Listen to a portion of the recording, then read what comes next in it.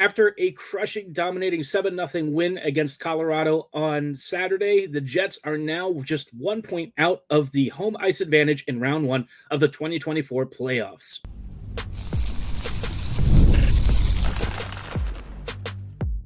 You're Locked On the Hockey Jets, your daily podcast on the Winnipeg Jets, part of the Locked On Podcast Network. Your team every day. Hello, friends, and welcome to tonight's episode of Locked On Winnipeg Jets, part of the Locked On Podcast Network, your team every day. I'm your host, Harrison Lee, an avid Winnipeg Jets fan and an online blogger. You can follow me on Twitter at HLivingLoco and at LO underscore Winnipeg Jets. Thanks for making Locked On Jets your first listen of the day every day. If you like what you're hearing, be sure to like, follow, and subscribe on all of your favorite podcasting platforms and YouTube. Doing so, of course, is always free of charge and ensures you never miss another episode. Most of all, though, we just love and appreciate your support.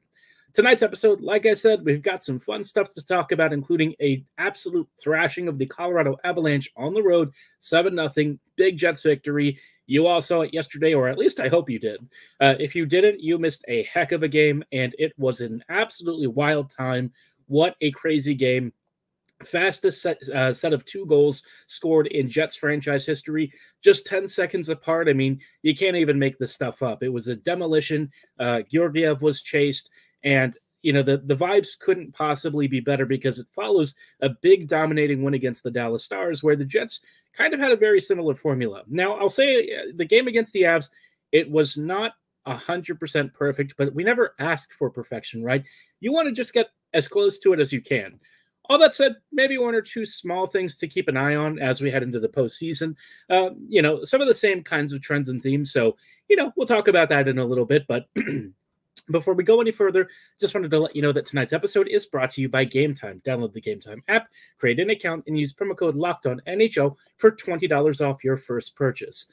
Now, like I said, the Jets they absolutely curb stomped uh, the the Avs. To to put it in crass terms, they kind of beat the piss out of them. And I've never really seen the Jets do this to Colorado, where pretty much every single thing that the Avs rely on, which is speed and skill, were completely neutralized for most of the game. Right? It wasn't until the Jets had already put up seven at that point, you know, Colorado was allowed to try and make a push towards the end of the game just to not get shut out, and it still didn't matter. Uh, Connor Hellebuyck was great in net. The Jets were generally very stingy, and even on the few really dangerous chances that the Avs made or uh, were able to create, the Jets stood tall and still got the job done. You saw lots of commitment from guys who, you know, occasionally would commit a turnover, but then basically lay out and try and block the shot. I'm looking at Nikolaj Ehlers, who had a really bad one, and then he uh, kind of atoned for it by basically using his body as a meat shield. Lord, that must have hurt. Uh, we saw Scheifele really hustle back on a number of back checks, even though he didn't record any points. Uh, Kyle Connor tried to really man mark and be a huge pest. I think he even forced a turnover or something at one point. So big props to him. Um, this just felt like overall a game where the Jets wanted to prove that – they are capable of playing at a level that you know Bones expects from them and that we expect from them. Uh, this follows a really strong performance against the Dallas Stars, where the Jets basically shut Dallas's entire transition game down, and Winnipeg kind of had a similar approach here. Uh, I, I, do have a, a, few minutes to talk about um, this formula for victory, right? Because I think it's going to be very useful to consider over the next few weeks. Winnipeg is going to face a lot of teams in the West that are built like this, uh, because honestly, the West is the best conference in the league right now, and I don't think it's all that close. No disrespect to the Eastern teams, but when you look at squads that generally terrify me, it's really all in the West. Dallas, Colorado, Vegas, these are the teams that have traditionally been Winnipeg's boogeyman. And in the last couple of weeks, the Jets have beaten all of them. The only team that really gave them huge fits recently was Nashville. And that was just a weird game, right? The Jets in general were just bad, and they still managed to squeak out a win. So uh, take it, you know, for what it's worth. A big couple of points that the Jets have gotten over the last few games. And with Winnipeg really closing down the gap for home ice advantage, every win that they've secured in the six game winning streak has been critical and crucial. Um, and if you're talking about rounding into the right form at the exact moment, that's really crucial and really helpful for Winnipeg to uh, not only secure a playoff seed, but also kind of get ready for the postseason. This was it. And everyone really had a hand in this game against Colorado. We saw Ehlers have, you know, some really nice plays. Vilardi had uh, a goal or so. um, we saw Adam Lowry get a couple. It was just a great performance all around. And I think, you know, when you look back at everyone really stepping up to the plate and having big performances, this was a game where I was really impressed, right? Uh, Tyler Toffoli bagged one. Of course, he hadn't scored too much recently, but has been notching a couple of assists here and there. Gustafsson, uh, who has really filled in beautifully for Nino Niederreiter, had a dominant performance. Sean Monahan had himself a quiet three point game. Um, Sean, I think, has really proven to be one of the better trade deadline acquisitions the Jets have picked up. I know that, you know, when we were talking originally about his acquisition, there was some concern about the opportunity cost of bringing him in, right? A first rounder, which at the time looked a little bit expensive, and that that wasn't, you know, false, right? A, a first rounder for a player like Monahan, it's not cheap. Monahan's career was basically resuscitated by the Habs, and you kind of looked at looked at the inflated shooting percentage and everything and thought, well, you know, is it really sustainable? Is it going to come crashing down if he goes elsewhere? You know, is he really going to be the kind of guy who is actually worth that price? And I think, you know, obviously hindsight is 2020, but in in Winnipeg's perspective, they basically got a steal for him. He's been one of the best uh, trade deadline rental performers so far. He's notched a, a ton of points for the Jets. He's been really good at just being a really capable finisher and also setup man. And look, he has a couple of things that he doesn't do as well. Like his defensive work is kind of suspect, and you can tell that the foot speed for him is a bit of a problem, but he's actually made some really nice PK plays. And I feel like in general, right, uh, you just can't complain about his performance. He's actually playing at a level to where I wouldn't be shocked if the Jets and his agent try and find some sort of a meeting down the middle here. I I'm kind of like on the fence about resigning him. I like him a lot. I don't know if I love his style of play, especially if the Jets want to get faster going forward. But by the same token, if the if the deal is like a three year deal for like four and a half million or something, uh, which was what one of our followers on Twitter suggested, I would not hate that. In fact, I'd be pretty okay with a deal like that. I think it's a nice stopgap sort of solution. Uh, it's a contract that you can move after the next couple of seasons really wouldn't be too much to worry about. So if Winnipeg is liking his role in the middle six and he continues to perform at the level that he has, you know, I'm not really going to complain about him returning. But like I said, kind of stuff for the future. Let's just see how, for now, uh, he fits into the playoff picture. I really want to see if this team is capable of repeating the success in like a seven game series because against a couple of really good opponents, they've definitely held up their end of the bargain things may change a little bit when you face the same team uh, in a in a series like this. But overall, though, you know, it feels like Winnipeg is starting to peak at just the right time. Now, I did say that there was one thing that I probably didn't love. Uh, the top line kind of got outmatched a little bit at times, which you sort of expect against MacKinnon because it's Nathan MacKinnon. He outmatches everyone. And there were some moments where you could see the, the top line getting hemmed in defensively. It's nothing new the good news is is that when the Jets did have this happen, they didn't really give up too many high danger chances. Uh, it did it did limit at times some of Winnipeg's uh, offensive prowess on that line, but overall, you know, they still had a couple of really dangerous chances. I think back to a a you know great um, Mark Scheifele breakaway that I thought was going to be a goal, somehow just barely saved. Uh, Scheifele just could not quite get the handle, but even when they spent an extended D zone shift, they were able to create that jailbreak moment up the middle. So, you know, despite my reservations, there's still some stuff to be positive about. And uh, so long as the rest of the team plays like it did uh, in this game, you really aren't going to be too too worried about the top line being maybe a bit of a risk.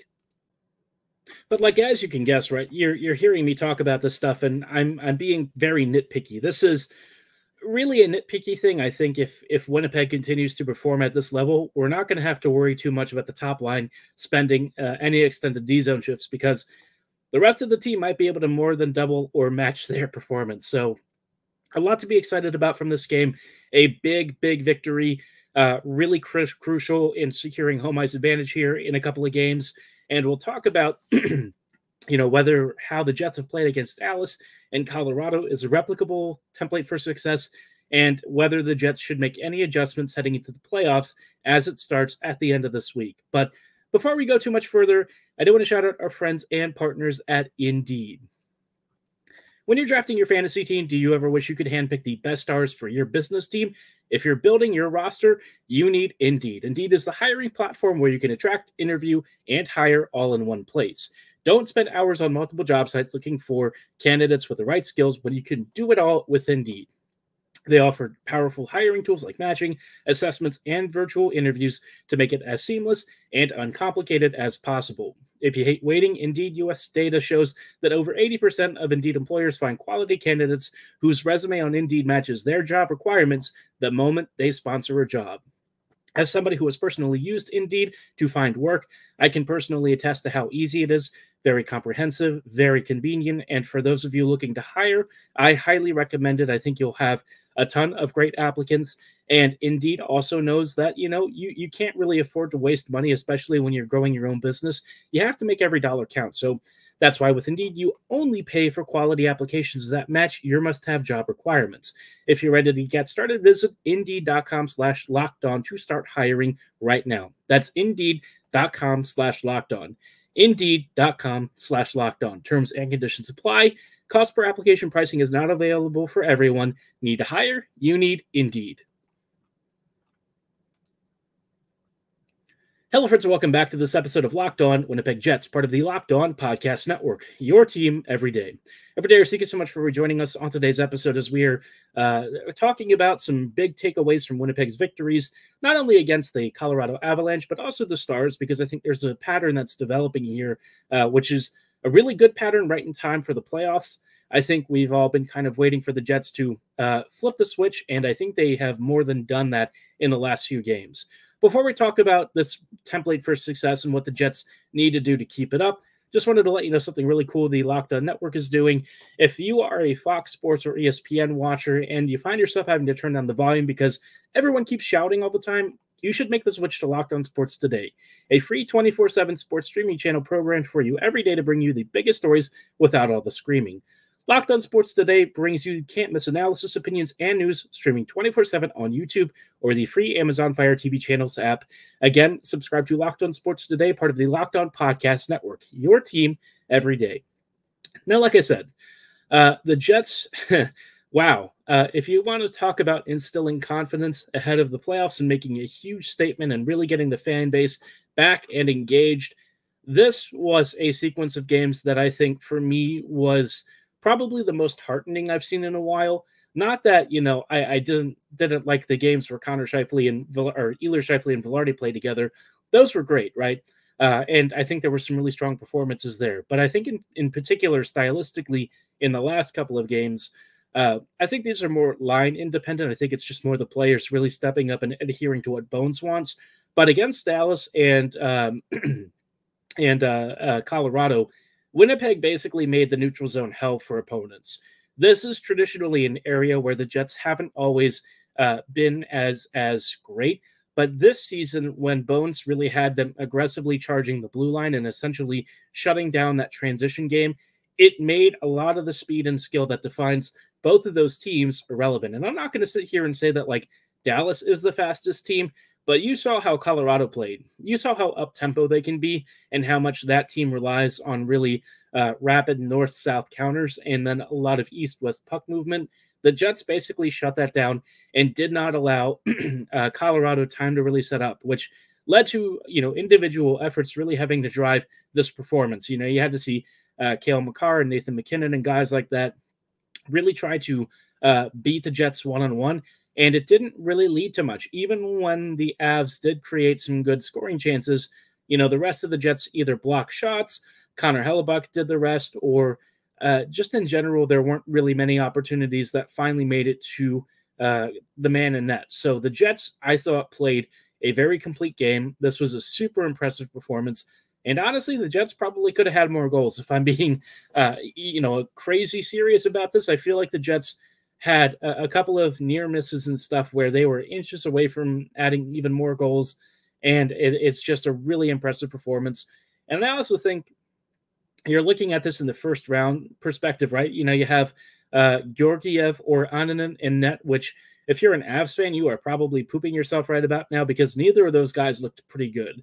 Uh, I, I, know that like neither was necessarily responsible for what happened in these games, and I would say Georgiev, you know, he had one bad goal against Josh Morrissey that I think probably he would like to have back, but the rest of the goals, there wasn't a ton for him to uh, really make a play on. So Winnipeg just dissected Colorado's defense and their structure and really played a surgical game. And I think if you're looking at, you know, a, a template for success against this team, slow them down, take away their skating legs. And the fact that they did it at uh, Ball Arena, I think was the most impressive part.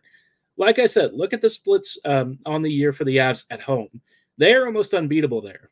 Uh, there's not really many teams that have a more clear home ice advantage than the Avs do. That Rocky Mountain air is really thin.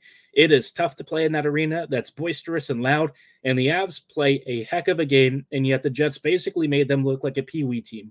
I don't say that often about opponents, but that is what the Jets did. It was a huge statement win, and ahead of uh, you know the playoffs really starting at the end of this week, I think it was a, a confidence booster and really a shot across the bow that warned the Avs. Winnipeg is finally here.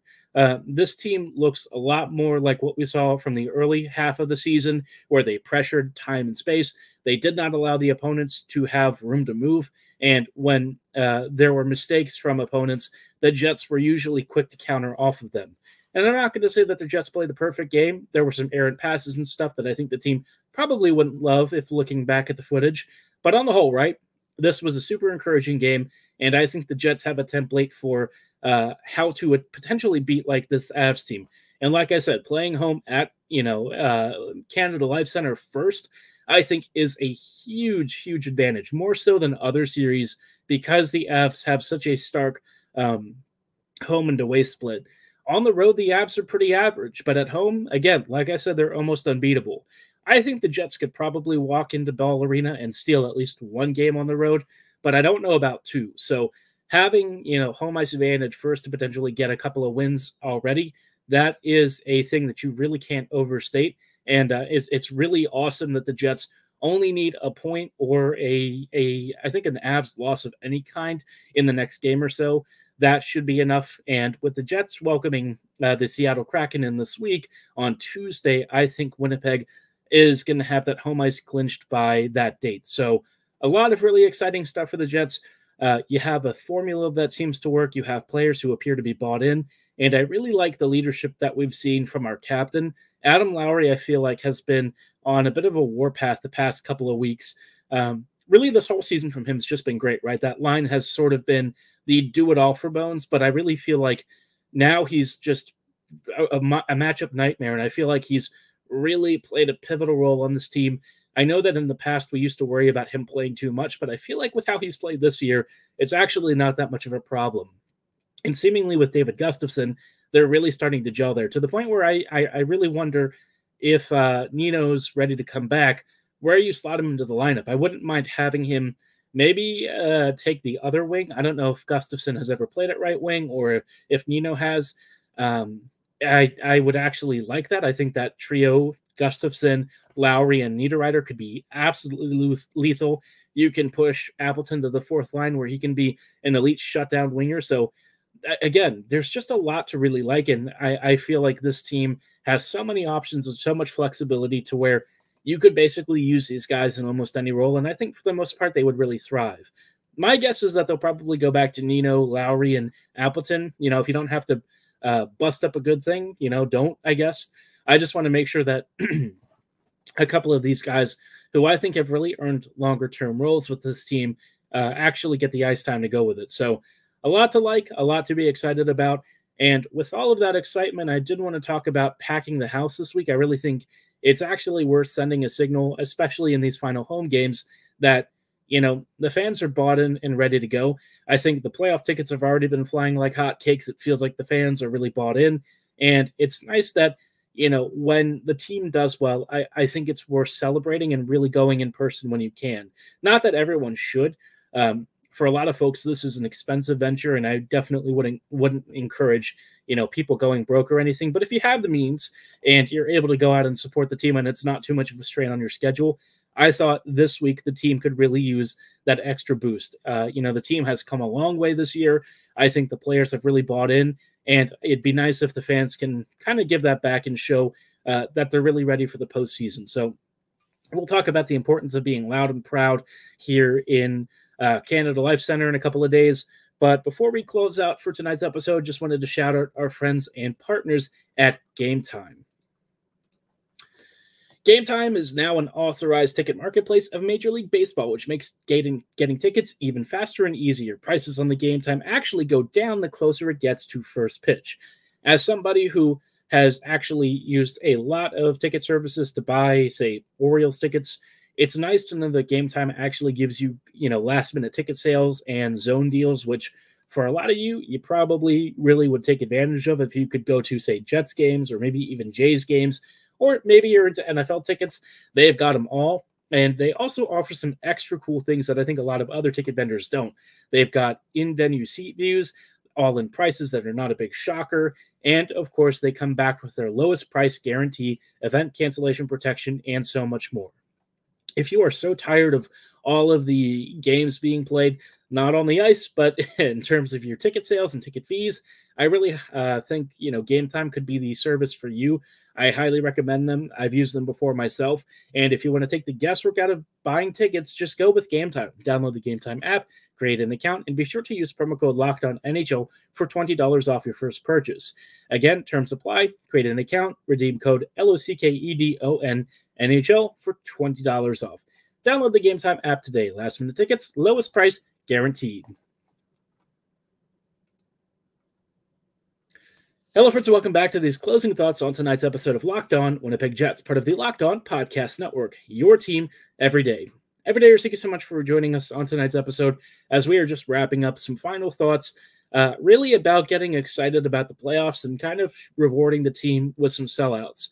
I think this is one of those times when, you know, for a, a really strong season that the Jets have had both in the front office and on the ice, it's important to send the message that the fans are happy with the product. And I think fans really should be happy with this team.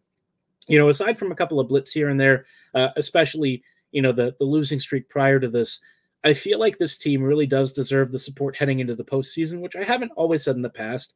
You know, I always say vote with your wallet, but given how good this team is this year and how much they've been a blast to watch and generally follow throughout the entire season, it'd be nice if the last couple of games before the playoffs were sellouts.